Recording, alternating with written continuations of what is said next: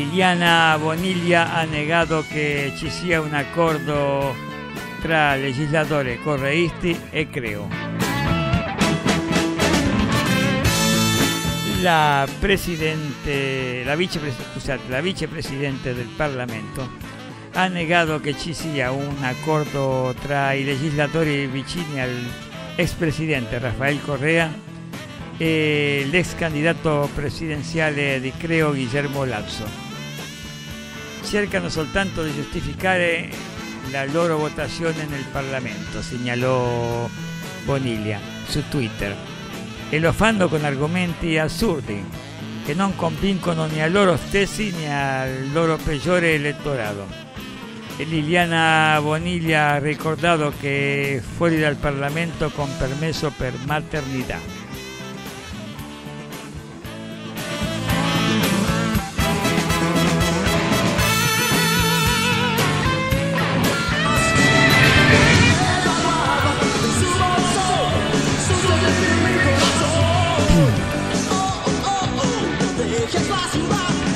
Radio Barça Italia, il programma delle pegne barceloniste di lingua italiana.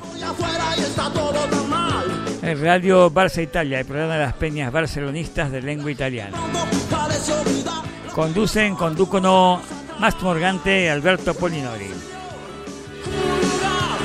El Radio Barça Italia, mañana a las 21.30. Domani alle 21.30. Qui, aquí en Radio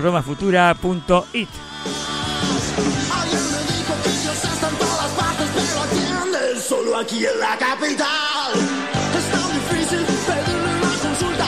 Nadie, nadie lo puede lograr. Labor terminada en Quito, en Ecuador. Y entonces nos vamos al aeropuerto de Tababella a tomar el avión. Dale, vamos.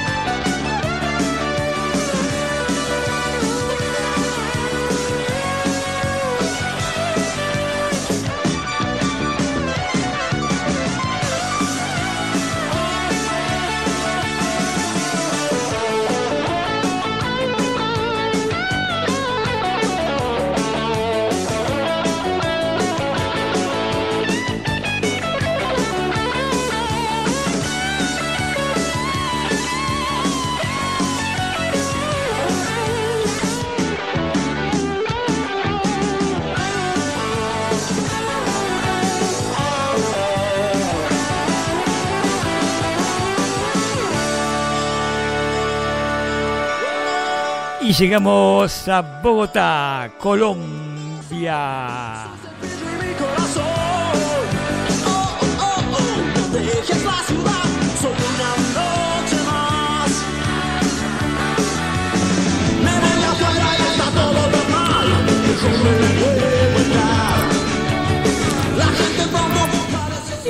En el país cafetero son las 10 53 de la mañana, hace 16 grados y el cielo está nublado.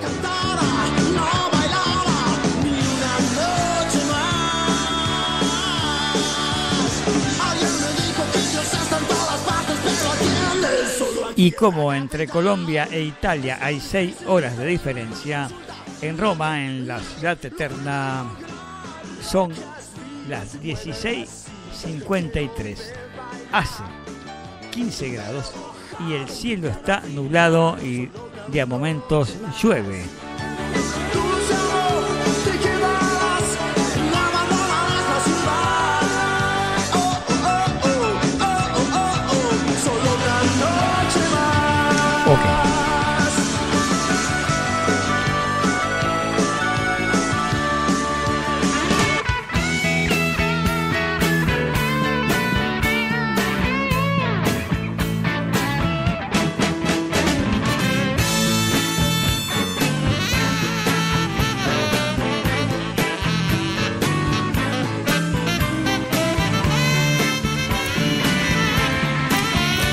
La información de Colombia.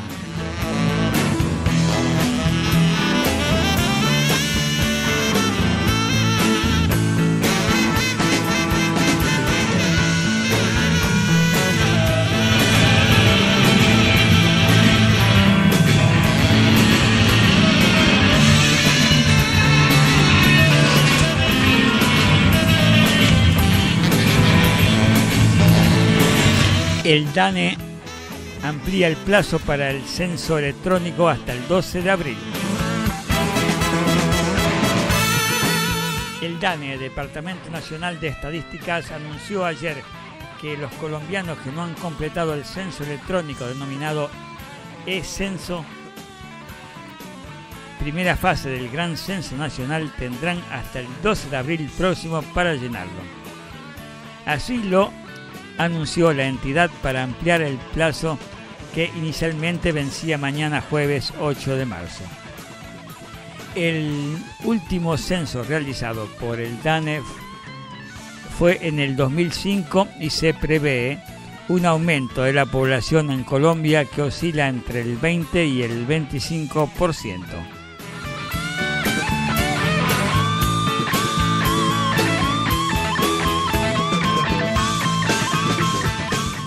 Decretan estado de alerta roja por la calidad del aire en Medellín.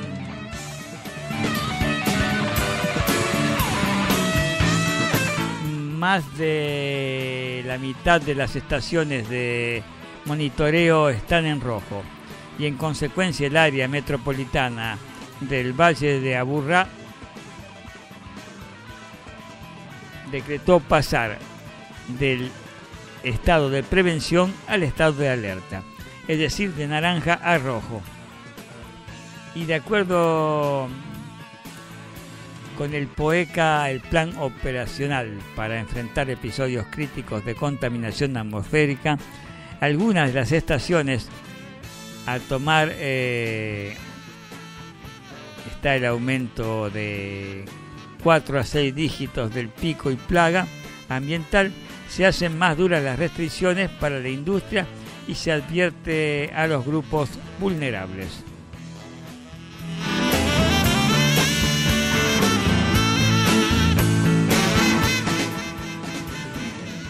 Le niegan la libertad a la ex gobernadora de La Guajira, Oneida Pinto.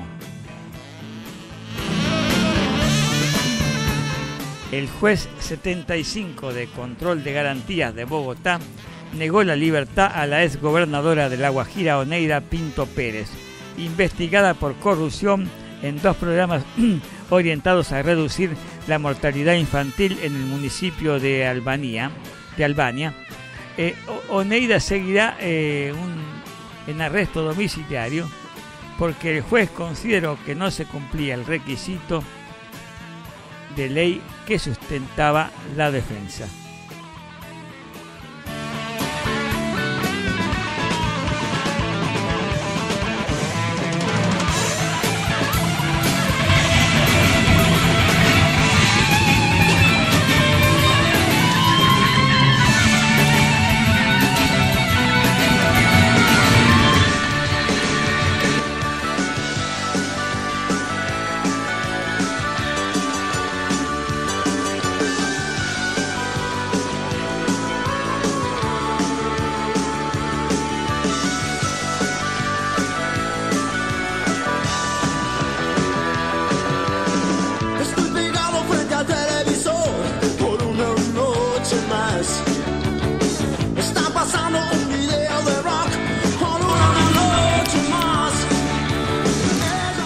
¿Cuánto te tomaste? Dos cafés.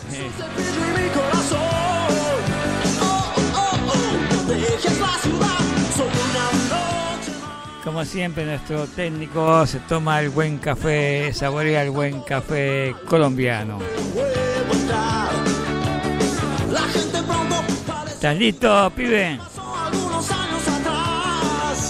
Bueno, entonces nos vamos al aeropuerto del Dorado a tomar el avión.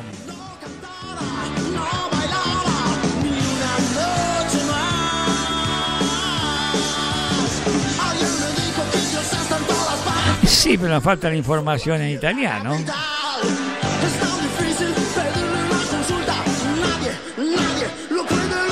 Me dice nuestro técnico que estoy muy apurado hoy.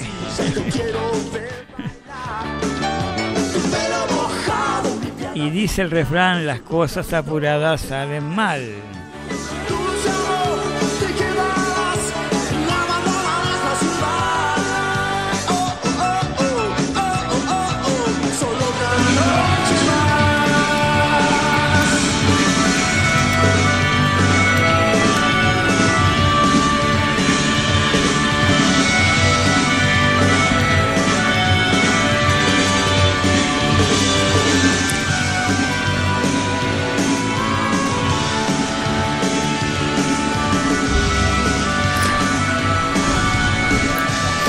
Vamos con la música.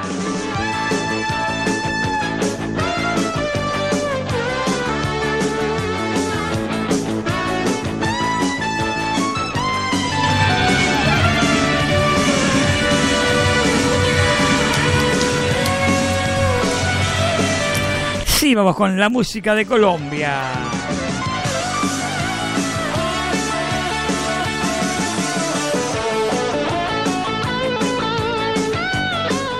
Llega el grupo La Mala Sangre con el tema Míranos bien.